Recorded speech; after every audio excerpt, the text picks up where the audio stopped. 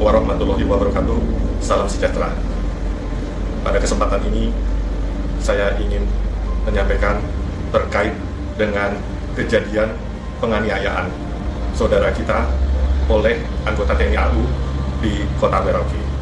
Saya selaku Kepala Staf Angkatan Udara ingin menyampaikan permohonan maaf yang sebesar-besarnya kepada seluruh saudara-saudara kita di Papua, khususnya warga di Merauke, terkhusus lagi kepada korban dan keluarganya. Hal ini terjadi semata-mata memang karena kesalahan dari anggota kami dan tidak ada niatan apa pun juga apalagi dari berupa perintah kedinasan. Kami akan mengevaluasi seluruh anggota kami dan juga akan menindak secara tegas terhadap pelaku yang berbuat kesalahan.